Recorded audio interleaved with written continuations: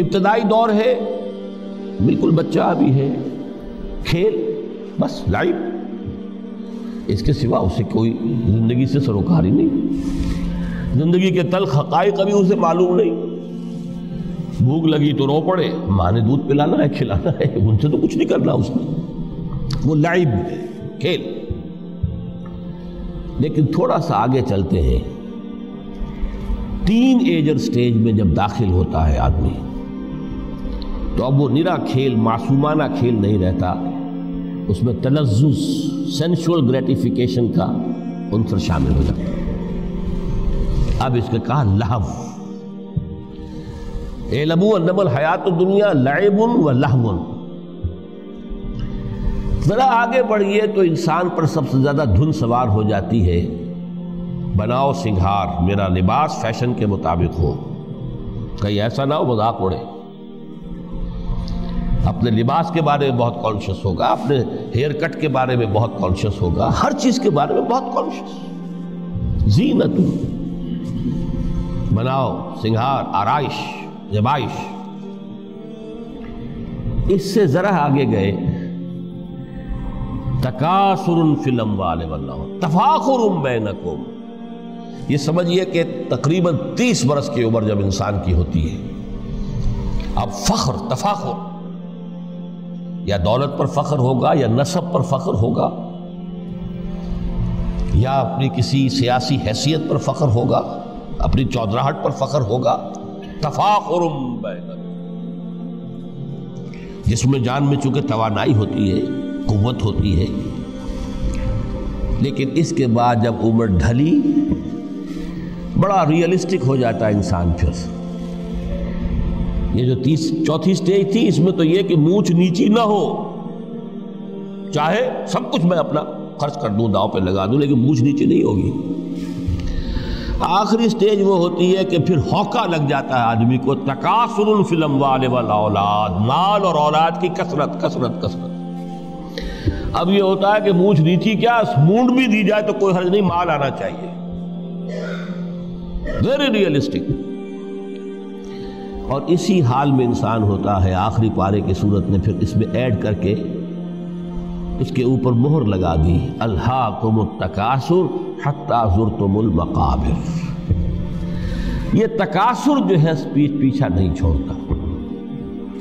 इतनी दौलत भी है कि आपकी दस नस्लें खा सके इतमान से बैठकर, तब भी सब्र नहीं होता। बड़े मियाँ की टांगे जो है, वो कब्र में लटकी हुई हैं। लेकिन तकासुर जो है तकासर माल, वो पीछा नहीं जुर्तमुल मकाबिर, यहाँ तक के कब्र तक जाओ कब्र में उतार दिया जाए, जब तक टांगे सिर्फ़ लटकी हुई है, उस वक्त तक नहीं।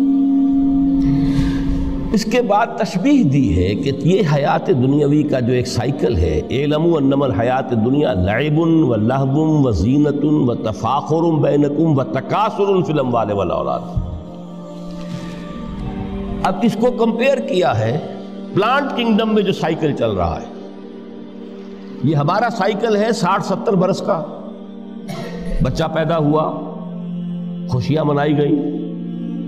फिर वो लड़कपन से, फिर टीनेजर स्टेज से, फिर जवानी है, फिर अधेड़ उम्र है, और फिर बुढ़ापा है, और फिर कब्र में उतारा जाना है। लेकिन ये कि प्लांट किंगडम में साइकिल चलती है। का मसल गैसिन आजबल कुफारा नबातु सुम्मा यहीज फतराह मुस्फर्रन, सुम्मा यकून होतामा। ये चार स्टेज हैं। जैसे बारिश बरसती है तो सब्जा नमूदार होता है। और काश्तकार को बड़ा अच्छा लगता है। उसने बीज बोया था, उसने मेहनत की थी, उसने हल चलाया था। अजबल कुफारा नबात हो उसको बहुत अच्छा लगता है, दिल बाग बाग हो जाता है। जैसे आपके यहाँ बेटा हुआ, पोता हुआ, खुशियाँ मनाते हैं आप कमसल गैसिन आजबल कुफारा हो सुम्मा यहीज। फिर वो फ़सल अपनी पूरी कुत को पहुँचती फ़सल लहरा रही है।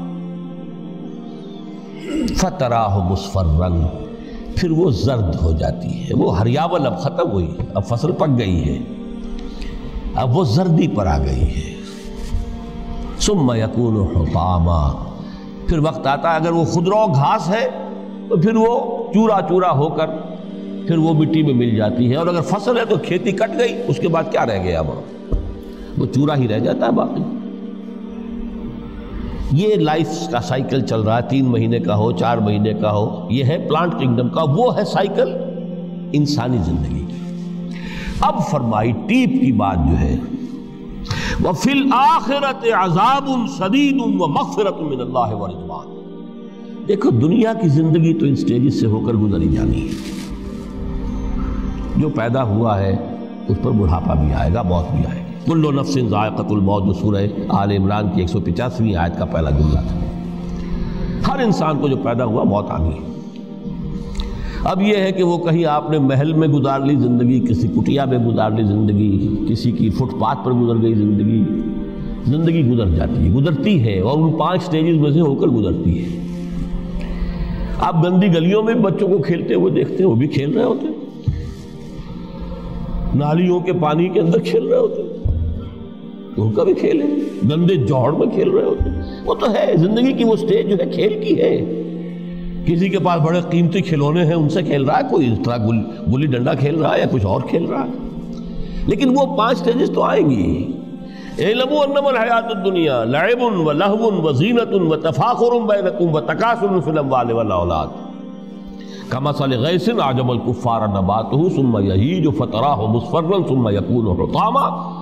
फिल आखिरत शदीद व रिजवान। आखिरत में जाकर ये बाइफरकेशन हो जानी है। या तो शदीद अजाब और या अल्लाह की मगफरत और रजा। Now the choice is yours इम्मा शाकिरम व इम्मा कफूरा, फैसला तुम खुद कर लो। ममल हयात दुनिया मताउल गरूर। यहाँ भी आखिरी अल्फाज वो है कि दुनिया की ज़िंदगी धोखे के सिवा कुछ नहीं। क्यों? अगर तो दुनिया की ज़िंदगी में गुम हो गए, जैसे कि इकबाल ने कहा है कि काफिर की यह पहचान के आफाक में गुम है। और मोमिन की यह पहचान के गुम उसमें है आफाक। दुनिया में रहो, तालिब दुनिया ना बनो, तालिब उकबा, तालिब आखरा। दुनिया में रहो, बरतो इस्तेमाल करो। तुम्हारे लिए पैदा किया गया, भाई बरतो। मता है, बरतने की शय है। हाँ हलाल और हराम की पाबंदियाँ सामने रखो, बाकी बरतो मतलूब ये ना हो, मकसूद ये ना हो। मतलूब आखिरा हो इन नमत दुनिया खोले कतलकुम वंतुम खोले तुम लीला आखिरा हो।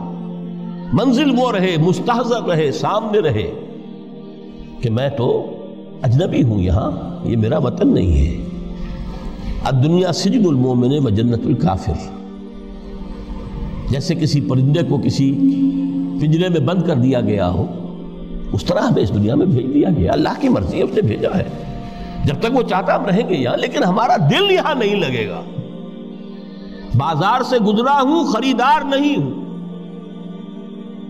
तालिब दुनिया ना तब तो ये कोई धोखे का सौदा नहीं पतन नहीं, बिल्कुल नहीं।